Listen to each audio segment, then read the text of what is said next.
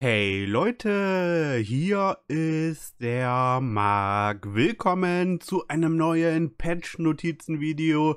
Die Patch-Notizen für das August 2022 Update sind da. Diese werden wir uns natürlich wie gewohnt gemeinsam anschauen. Und das Update geht nächste Woche Montag, den 29. August live. Dort geht es los. Und wir haben hier direkt als erstes auf jeden Fall was richtig Cooles, was auf jeden Fall vieles von euch freuen wird. Die deutschen Schlachtschiffe kriegen eine alternative Linie. Da können wir uns auf jeden Fall drauf freuen. Diese werden auf jeden Fall in den Early Access kommen. Und zwar werden wir dort auf Stufe 4 die Derflinger bekommen. Diese geht sozusagen von der König ab. Und auf Stufe 5 gibt es die Mackensen. Auf Stufe 6 Prinz Heinrich. Und Stufe 7 wird die Zieten. Und das Stufe 8 Schlachtschiff wird die Prinz Ruprecht werden, welche allerdings erst ein Update später verfügbar sein wird. Allerdings hat man natürlich schon Chance, die Stufe 4 bis 7 Schiffe aus Kisten zu ziehen. Die Kisten sind ab dem 1. September verfügbar. Und am Early Access System hat sich eigentlich nicht viel geändert, außer dass sozusagen ja früher die Stufe 7 Schiffe immer ein Update später gekommen sind. Das hat sich jetzt sozusagen verschoben, dass halt das Stufe 8 Schiff jetzt ein Update später kommt und das 7er quasi auch in Kisten bekommen werden kann. Besonderheiten der alternativen deutschen Schlachtschiffe sind verbesserte Sekundärgeschütze, denn haben wir teilweise auch Torpedos mit dabei, was natürlich immer sehr gefährlich ist, wenn man dort in den Nahkampf kommt für die Gegner und ab Stufe 5 werden die Schiffe auch das Sonar haben. Und dann kommen wir direkt zum Feldzug. Es wird natürlich auch wieder wie gewohnt ein Feldzug geben und es hat es auf jeden Fall sehr, sehr in sich. Wir bekommen das japanische Premium-Schlachtschiff auf Stufe 8.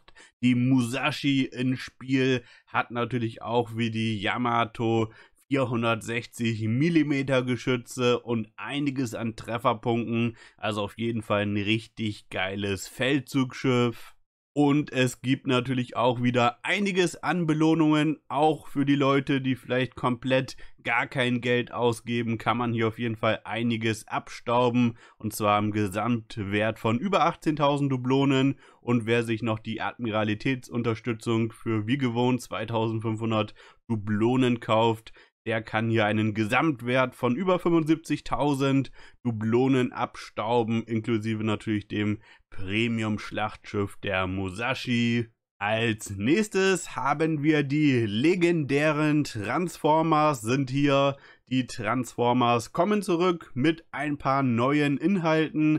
Wir werden hier zum Beispiel einen zusätzlichen Skin für die Republic bekommen und es heißt ja auch noch von weiteren legendären Schiffskins. Da sind wir auf jeden Fall mal gespannt, was es dort geben wird. Außerdem wird es auch alle ehemaligen Transformers-Inhalte, die es schon mal gab, wieder äh, zum Kauf geben, wenn man dort was haben möchte. Und ja, wer da natürlich drauf steht, kann dort natürlich gerne zuschlagen, ist aber natürlich immer sehr, sehr Geschmackssache.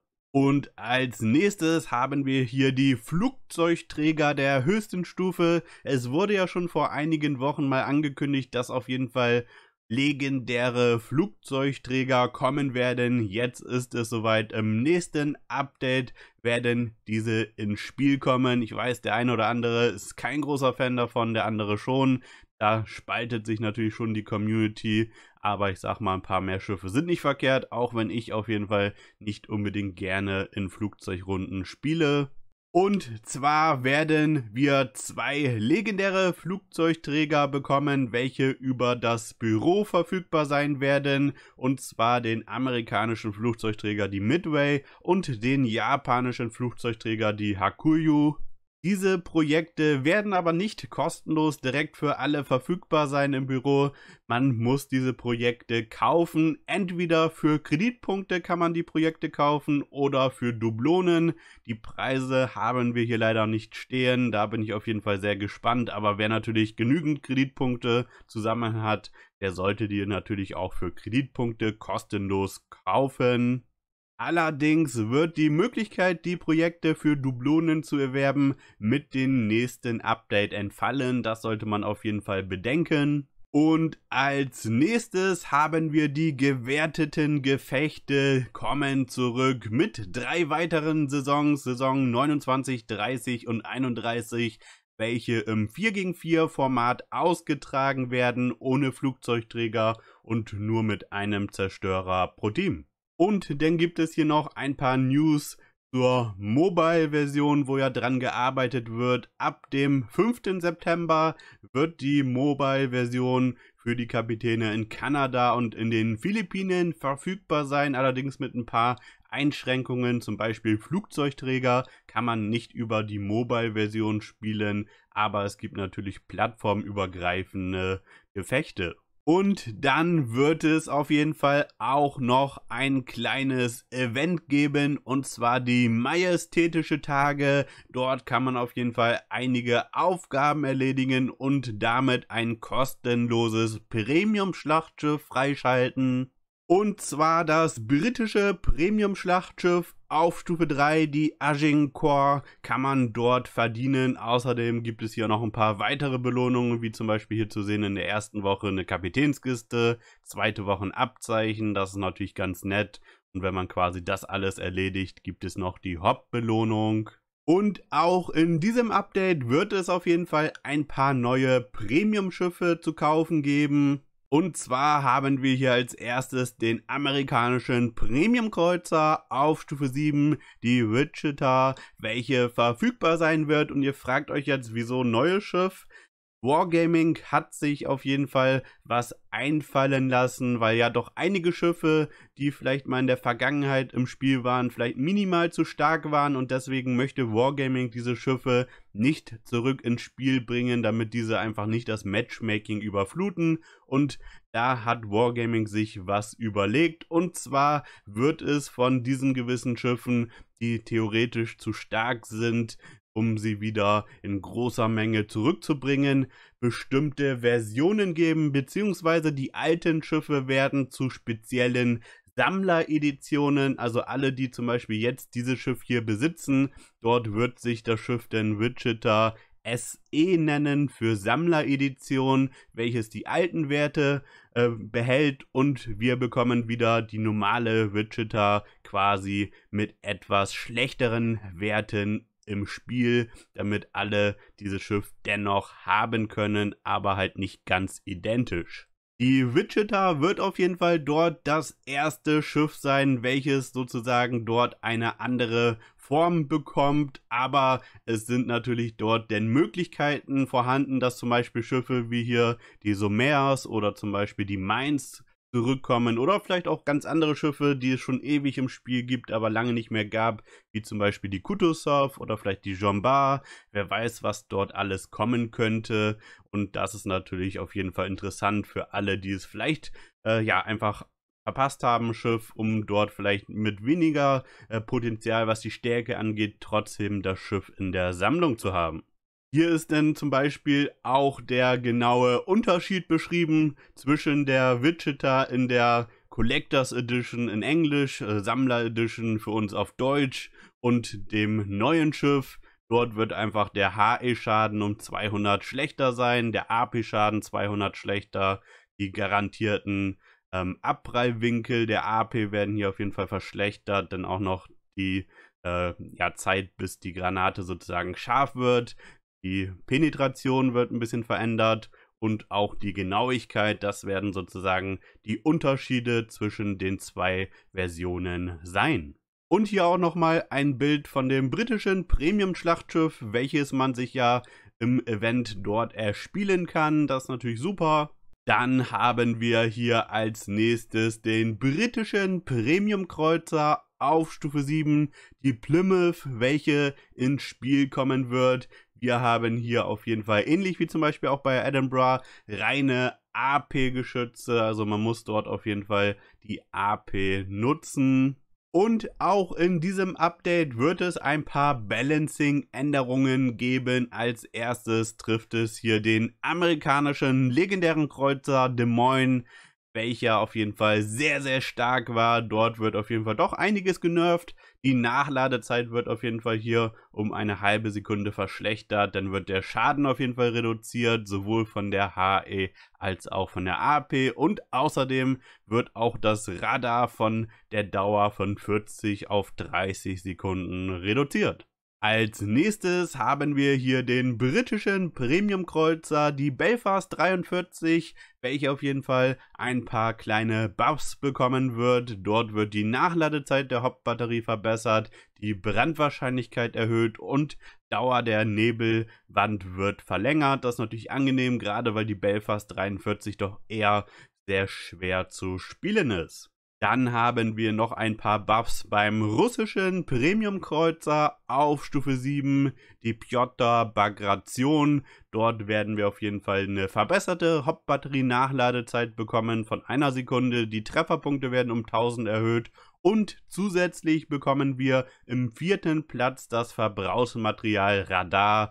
Das ist natürlich schon ein sehr, sehr netter Buff. Das Schiff war natürlich immer relativ uninteressant, weil dort einfach das gewisse Extra gefehlt hat. Man hatte irgendwie keine Nebelwand, man hatte kein Radar, was doch relativ typisch bei den anderen russischen Stufe 7 Kreuzern ist. Und jetzt bekommen wir das Radar dazu, was natürlich sehr nett ist. Dann haben wir noch ein paar Buffs der paneuropäischen Zerstörer, da diese doch relativ anspruchsvoll zu spielen sind, weil diese keinen äh, Nebelerzeuger besitzen und dort werden auf jeden Fall die Zerstörer von Stufe 2 bis Stufe 6 auf jeden Fall alle etwas gebufft von der Hauptbatterie-Nachladezeit und teilweise auch von den Torpedos. Das ist natürlich sehr, sehr angenehm. Äh, man muss dazu sagen, dass das Stufe 7 Schiff keinen Buff bekommt. Wahrscheinlich haben erstens noch nicht so viele Spieler das Schiff und zweitens ist die Österjütland doch relativ angenehm zu spielen. Dementsprechend würde ich dort auch erstmal in naher Zukunft keinen erwarten. Aber die ganzen anderen Zerstörer von Stufe 2 bis 6 bekommen dort alle einen gewissen Buff. Des Weiteren wird auf jeden Fall auch ein Problem der Sättigung behoben. Man kennt es, glaube ich, relativ gut, dass gewisse Bereiche von Schiffen auf jeden Fall mal komplett gesättigt sind und selbst wenn man dort mit zahlreichen Treffern mit der AP äh, quasi getroffen hat, haben diese keinen Schaden mehr gemacht. Das wird hier auf jeden Fall alles bearbeitet. Wer sich das noch ein bisschen genauer durchlesen möchte, kann gerne Pause im Video drücken. Des Weiteren sind hier auch noch mal ein paar andere Sachen äh, erklärt, was geändert wird. Zum Beispiel neues Durchschlagenband für die Durchschlagung von Torpedowülsten. Das kommt zum Beispiel dazu. Außerdem hier wird noch ein bisschen was bei der Panzerung geändert. Der Sekundärgeschütze, sofern diese zerstört sind, verschwinden dort auch die Trefferzonen, sodass die Granaten dann sozusagen direkt den Rumpf treffen und dort dann halt dementsprechend Schaden machen. Und zu guter Letzt gibt es hier auch ein paar Fehlerbehebungen. Dort könnt ihr auf jeden Fall auch nochmal Pause drücken, wenn ihr euch das durchlesen möchtet, sowohl für die Konsolen als auch für die Mobile-Version. Allerdings nichts wirklich Erwähnenswertes dabei. Und damit sind wir schon am Ende der Patch-Notizen angekommen. Also einiges, was wir hier im Update erwarten können. Fehlerbehebungen sind natürlich nie verkehrt. Ein paar Balancing-Änderungen sind natürlich auch super, auf jeden Fall auch von ein paar Schiffen, die man wirklich selten gesehen hat, wie zum Beispiel in der Piotr Bagration, was natürlich super ist, um dort vielleicht die Beliebtheit etwas zu steigern. Dann gibt es auf jeden Fall ein paar neue Premium-Schiffe, definitiv hier auch eine interessante Möglichkeit, eventuell ältere Schiffe zurückzukriegen. Schreibt dort auf jeden Fall eure Meinung mal zu diesen Sammler-Editionen äh, in die Kommentare, würde mich doch sehr interessieren. Dann gibt es hier noch die majestätische Tage, wo man ein kostenloses Premium-Schlachtschiff erspielen kann. Gewertete Gefechte werden wir bekommen. Legendäre Flugzeugträger kommen ins Spiel, Transformers-Inhalte kommen dazu, denn natürlich wie immer ein super Feldzug mit einem wirklich geilen Feldzugsschiff und zwar der Musashi. Also auf jeden Fall hier super Sachen und auch noch eine alternative deutsche Linie. Die alternativen deutschen Schlachtschiffe kommen ins Spiel. Also auf jeden Fall doch ein nettes Update. Allerdings, ja, die Sachen, die ich mir am meisten wünsche, wie zum Beispiel Clans, Clangefechte, Trainingsräume, aktuell leider wieder nicht dabei. Das finde ich ein bisschen schade, aber an sich ist es dennoch kein wirklich miserables Update. Sind auf jeden Fall ein paar nette Inhalte, auch wenn ich gerne dort die Clans langsam sehen möchte. Und ja, wenn ihr noch irgendwelche Fragen habt, schreibt es gerne in die Kommentare. Ich hoffe, es hat euch gefallen. Lasst auf jeden Fall ein Like da, ein Abo wäre spitze, schaut in die Videobeschreibung. Dort findet ihr meinen Twitter-Account, meinen Twitch-Kanal, meinen Discord-Server. Schaut dort gerne vorbei, ich würde mich freuen und wir sehen uns dann beim nächsten Mal, Leute. Haut rein, ciao, ciao.